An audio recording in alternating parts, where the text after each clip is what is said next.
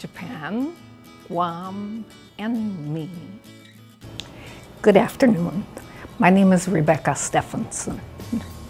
I'm a professor emerita at the University of Guam in anthropology.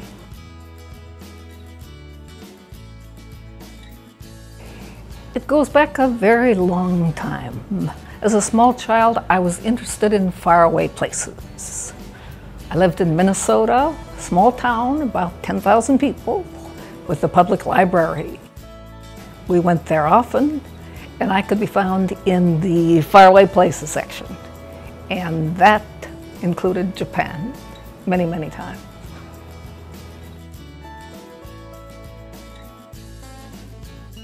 Oh, there's so much. People are friendly and approachable. You get a sense of people interested in visitors. The sceneries are lovely. The care with which the place is looked after by, I would assume, local people is noticeable. There's a sense that you can breathe and feel at home. One feels it's proper to respond in kind and look relaxed and energetic as you come and go and look like you're appreciating the place when you certainly are.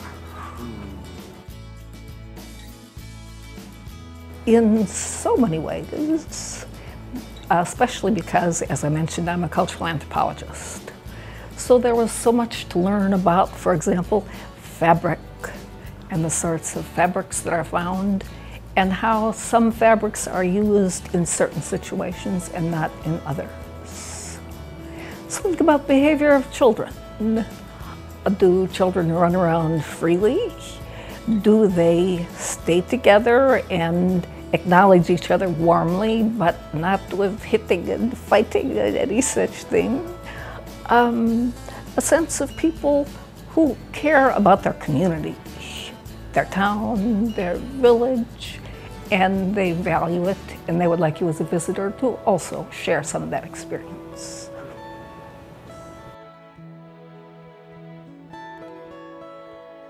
I would like to further find ways to remind people here that Japan is close to Guam, that we have many aspects of the way we live in common, that yet still there's much to learn from each other in small groups and one by one.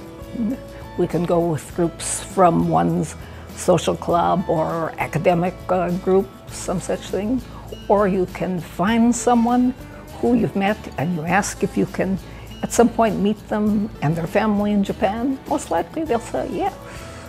There are a variety of ways like that.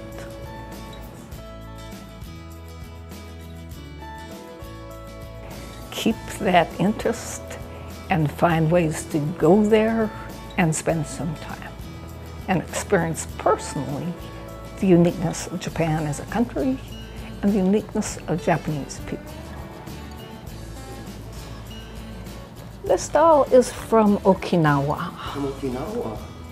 A cousin of my mother's when we were just kids was stationed there in the military with U.S. military forces. My mother asked him, if he could please bring us a doll. Here she is. We named her Fujiko.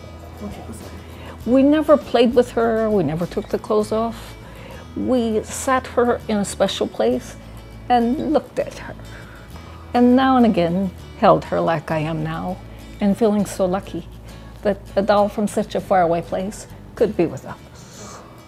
Beautiful. How old is, it, is Fujiko-san? Oh, she's pretty near to 100 years old now. Because we were just small kids, my sister and I, when our uh, nephew was assigned to Okinawa. So before long, he had picked out this dolly and the other one, but she looks not quite so Japanese-like. This one. This one is wearing some other clothes. She's a Japanese baby doll. Oh, really? Yes. The two were bought at the same time because uh, we had asked for a dolly we could play with and a dolly we could just admire. So these both were given to us in Minnesota at the same time when our cousin was in Okinawa. And as you can see, they are uh, much loved and very well looked after so many years. Yeah, yeah, almost 100 years old. It looks just like you just bought it recently. Well, especially Fujiko here, we had to make Mm. sure that she was well treated. This little one has some little scars here and there. We played with their, took her clothes off. My sister and I, there were just the two of us girls, and we have a younger brother also. But anyway, of interest to both my sister and I was Japan for reasons like this. Knowing that it was a place where our military men were serving and that we read about it in, in very fine books like Richard Halliburton, wrote books to read and to think about. So somehow Japan was always there as a mystery somehow, but as a real place that I would like very much to go and see. And my sister felt the same way. And she's been there several times. We've been there together as well. And then thanks to Hiro and his family's kindness, we've stayed at home in Japan with their family, and they have helped us learn and enjoy special features of Japan. Japan, Guam, and me. Japan Cultural Exploration in Guam.